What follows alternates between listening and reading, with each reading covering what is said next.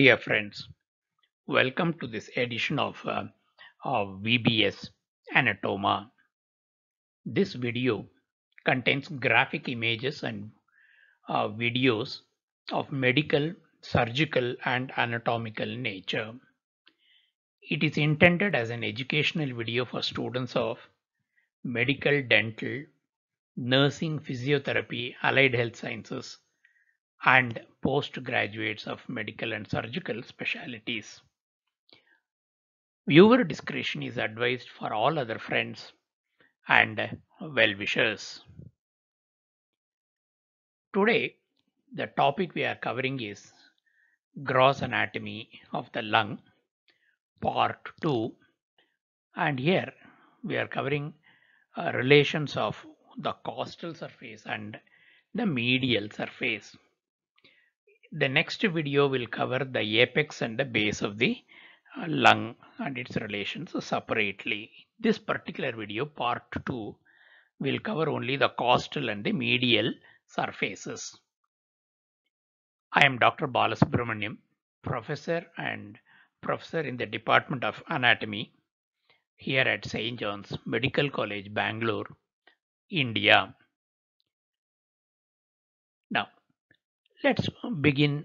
We already have covered general introductory concepts about the uh, gross features of the lung in the video first video, the previous video, where I have introduced the uh, shape of the lung, apex, base, surfaces, fissures, everything. Now we'll directly go to the uh, costal, mediastinal and the vertebral surfaces. Now this is an actual cadaver specimen. The anterior wall of the thorax has been removed to show the lungs and the heart in situ. Right lung, left lung and the heart are uh, highlighted with labels. This is more or less same as previous except that the heart has been removed to show that there are certain structures behind the heart also. It only reflects how compact the arrangement of structures are. Like for example, right behind the heart, shown by the label here, trachea and the left bronchus, and uh, further behind it, the esophagus. Next, costal surface relations. The right lung and the left lung costal surface are shown in this photograph. You can see the rib impressions uh, across the lung. Uh, this costal surface uh, roughly covers the first six ribs in the mid clavicular line, the top eight ribs in the mid axillary line, and uh, add one another two that means the top 10 in the mid scapular line. That will be the extent that means from apex to base. This will be the uh, ribs covered and the intervening intercostal spaces. Uh, because there is intervening intercostal spaces and the lung uh, keeps expanding and contracting for uh, inspiration and expiration these impressions of the ribs are very clearly seen although there is a pleura separating right.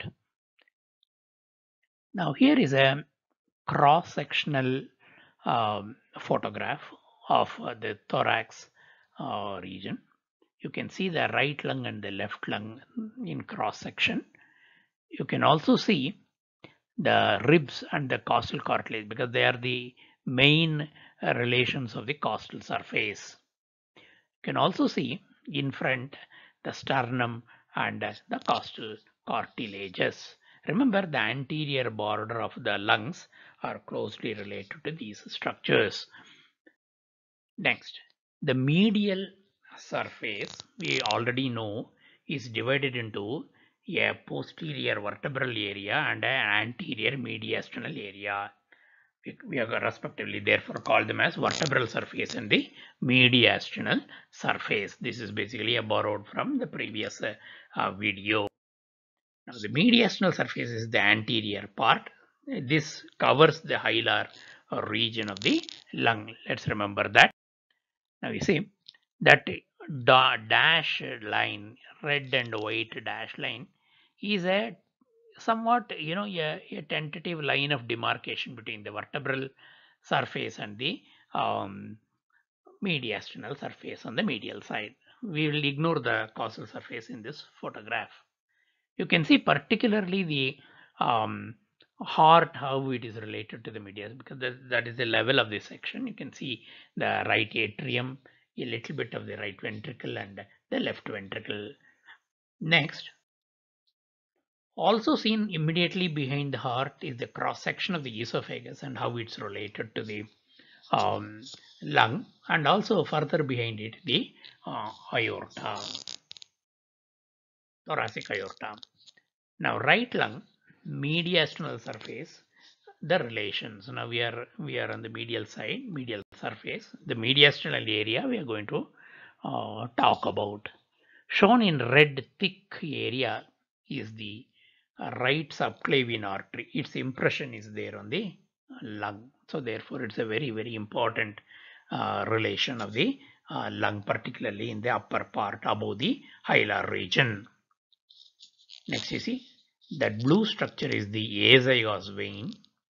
I repeat because we are on the right side that is the azygos vein and see how it arches upwards and then goes above the hilum of the lung to join the superior vena cava. I'll show that a little uh, later next or next few steps. In the meanwhile, behind the azygos vein, a small part of the uh, descending esophagus is also related. Next, you see that's the superior vena cava. The lower this blue line, blue thick area is the superior vena cava.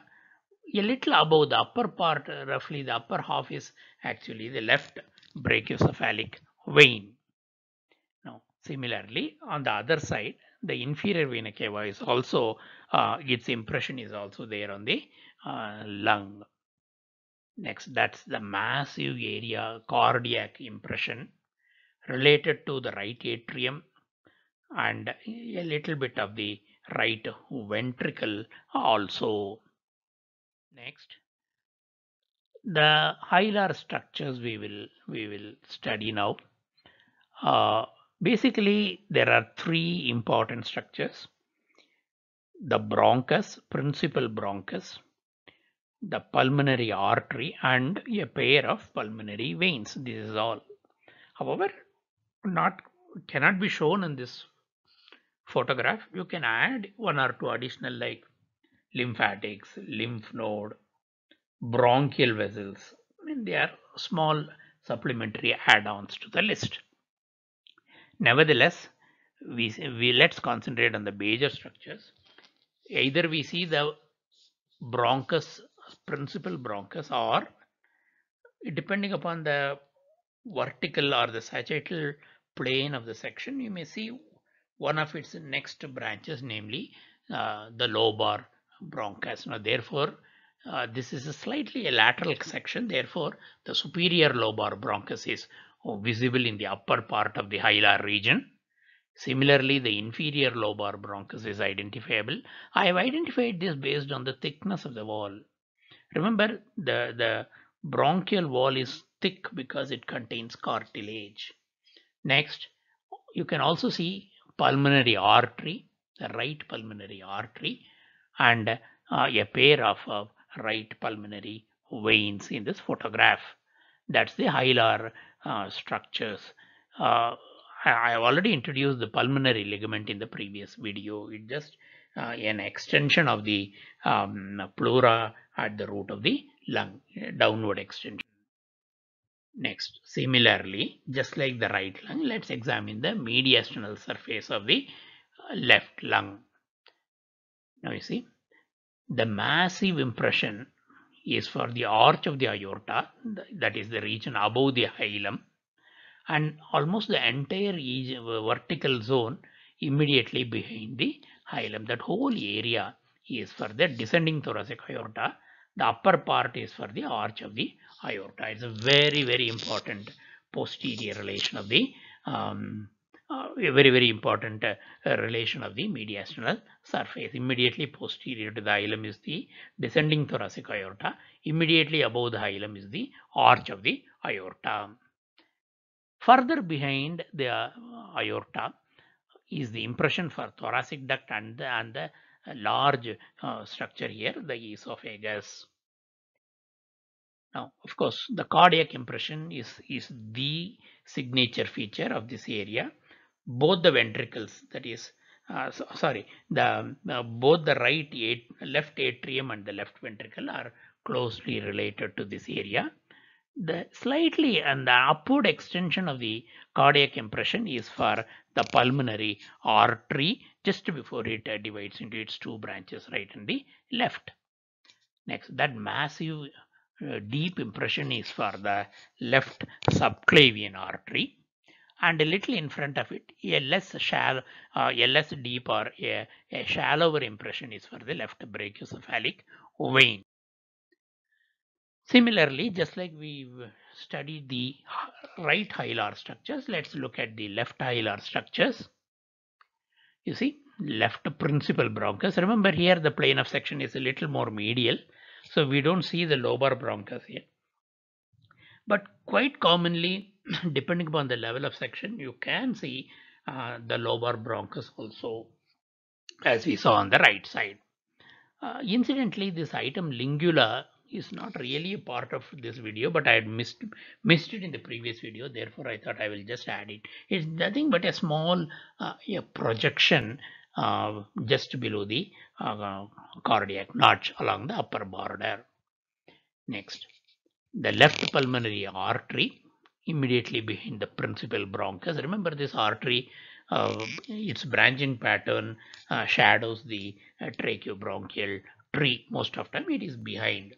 Similarly, the left pulmonary veins are also shown in the lower part of the uh.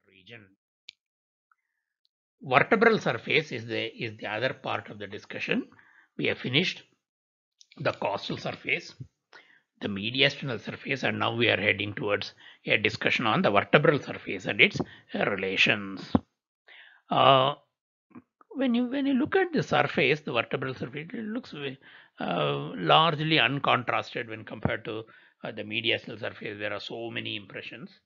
Nevertheless, the vertebral surface is important because it's it's closely related to very many uh, structures. Now let's take this uh, same cross section of the thoracic region. You can you can see uh, that dotted line the area above the dotted line is the area of our discussion the vertebral uh, surface. You can see the body of the thoracic vertebra.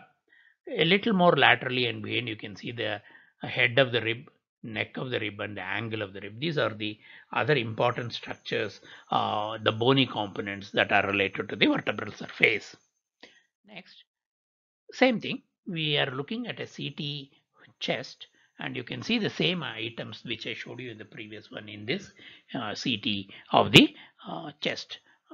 the front is the body of the thoracic vertebra and uh, more laterally the ribs, head and neck and the angle. Um, students who find this video useful, you can subscribe to this channel VBS Anatoma. And for regular posting of notifications about uh, new additions to the uh, list of videos you can also press the bell icon. Now let's continue with the further relations of the uh, vertebral surface of the lung. Remember this is a photograph of the dissection of the left paravertebral gutter the lung has been removed i repeat the lung is not there but the structures which are related to its vertebral surface are very, very clearly seen. I have already labeled the trachea and the esophagus uh, because it, they are the two key anchors in this region of the posterior mediastinum. Now you see the beginning of the posterior intercostal vessels and the corresponding intercostal nerves is uh, is clearly seen. This is, this is a very important uh, relation of the vertebral surface.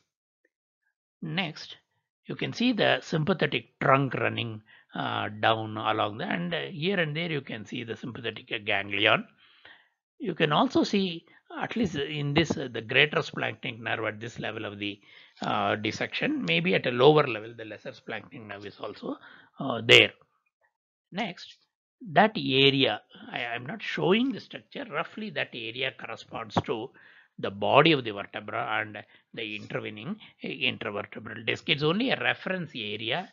It is I am not actually showing the structure, but this is where you look for the uh, vertebra and the intervertebral disc. This can be done from end to end, from the top end to the bottom of the uh, paravertebral gutter, and you will find the respective vertebrae and the intervening intervertebral disc. That's the thoracic duct. It's closely uh, related to the esophagus at this position. Next, just like I, I showed in the cross-section photograph, you can actually see the ribs, the head, neck and angle of the ribs. Uh, and along the lower margin of a rib, you can see the posterior intercostal vessels and the intercostal narrow. Now, watch carefully what I'm going to show you. We are on the left paravertebral gutter. Therefore, we will see two veins, namely the accessory hemiazygos and the hemiazygos veins uh, in this particular uh, region form important relation in this area. The upper one is the accessory hemiazygos and the lower one is the hemiazygos vein. In fact, uh, in the previous um, uh, photograph, you can actually see the um, posterior intercostal vessels uh, uh, intercostal veins joining the um, or the azygos vein. Now this one is the right paravertebral gutter, the opposite side. And obviously I'm now going to show you the azygos vein. Same posterior intercostal vessels and nerves. The veins join the azygos vein. By the way, this sympathetic trunk also seen on the right side.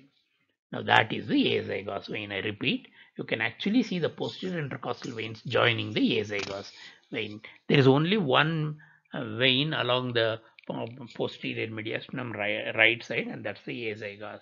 But the same vein on the left side is divided into two parts. Uh, one, the upper part is the accessory hemiazygos, the lower part is the hemiazygos. All the posterior intercostal veins drain into either of the two.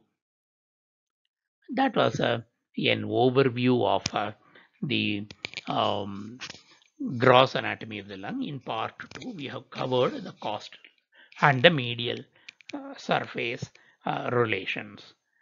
Thank you. All the best.